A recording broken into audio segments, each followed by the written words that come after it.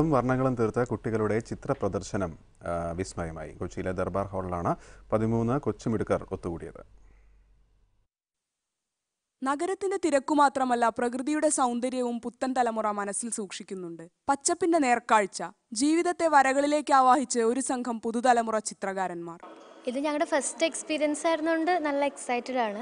ഇനിയും കുറേ പേരൊക്കെ വരുമ്പോൾ ഓരോന്നോരോന്ന് പറയുമ്പോൾ നമുക്ക് ഇനിയും സന്തോഷമായിരിക്കും ഇനി ഇതൊരു മോട്ടിവേഷൻ അല്ലേ നമുക്ക്? അധികം ആൾക്കാർ വന്നില്ലെങ്കിലും കുറേ ആൾക്കാർ ആ വന്ന ആൾക്കാർ തന്നെ നല്ല അഭിപ്രായം തന്നെയാണ് പറയുന്നത് ആർട്ട് ഇൻ ആർട്ട് സ്കൂളാണ് ചിത്ര പ്രദർശനം സംഘടിപ്പിച്ചത്. പതിമൂന്ന് കുട്ടികളുടെ നൂറ്റഞ്ചോളം ചിത്രങ്ങളാണ് പ്രദർശനത്തിലുള്ളത്. മികച്ച പ്രതികരണമാണ് കാഴ്ചക്കാരിൽ നിന്ന് ലഭിക്കുന്നതെന്ന് സംഘാടകർ പറയുന്നു. നേരുള്ള കാഴ്ചകൾ അന്യമായിക്കൊണ്ടിരിക്കുമ്പോഴാണ് കുട്ടിത്തമുള്ള വരകളുമായി ഇവർ അവധിക്കാലം സന്തോഷകരമാക്കുന്നത്. ഏഷ്യാനെറ്റ് ന്യൂസ് കൊച്ചി.